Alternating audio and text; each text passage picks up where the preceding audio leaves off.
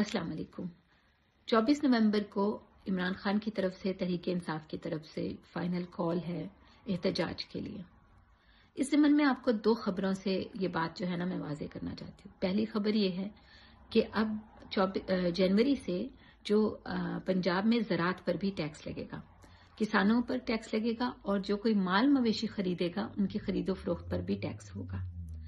اور دوسری خبر یہ ہے کہ ملتان کے سب سے بڑے ہسپتال نشتر میں جو مشینیں ایڈز کے، جو ڈائلسز مشینیں ایڈز کے مریضوں کے لیے استعمال ہوتی تھیں، وہ عام مریضوں پر استعمال کر دی گئیں اور تھرٹی کے قریب جو عام لوگ تھے وہ ایڈز کا شکار ہو گئے اور ان میں ایک کی شاید ڈیتھ بھی ہو گئی ہے۔ یہ خبریں میں کیوں سنا رہی ہوں؟ میں اس کو لنک کیوں کر رہی ہوں؟ وہ ایک جیو نے کہا تھا نا کہ جب وہ دوسروں کے پیچھے آئے تو ہم نہیں بولے، لیکن جب وہ ہمارے پیچھے آئے تو ہمارے پیچھے بولنے والا کوئی نہیں تھا۔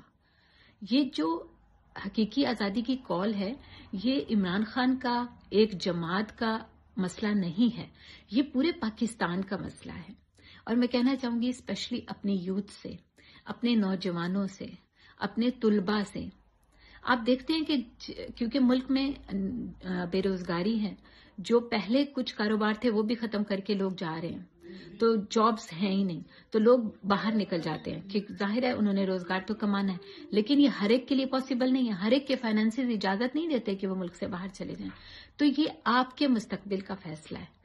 آپ نے اب یہ عمران خان کا، ان کا پرابلم نہیں ہے۔ یہ تو ہم خوش قسمت ہیں کہ عمران خان ہمارے لیے کھڑے ہو گئے۔ عمران خان نے کہا کہ میں گیو اپ نہیں کروں گا، میں اپنے وطن کے لیے، اپنے ہم وطنوں کے لیے کھڑا ہوں گا۔ لیکن اصل مسئلہ ہے یہ ہمارا، ہم قوم کا مسئلہ ہے۔ تو جب جدوجہد ہماری ہے تو کوشش بھی ہماری ہونی چاہیے۔ جب مسائل ہمارے ہیں تو ایفرٹ بھی ہمیں کرنی ہوگی، ہمیں ہی باہر نکلنا ہوگا۔ تو یہ جو فائنل کال ہے، اس کے لیے آپ کو اپنا رول پلے کرنا ہوگا۔ یوتھ آئی ایس ایف طلبا باقی سارے لوگوں کے ساتھ ساتھ آپ نے، آپ کے ہاتھ میں بہت بڑا رول ہے۔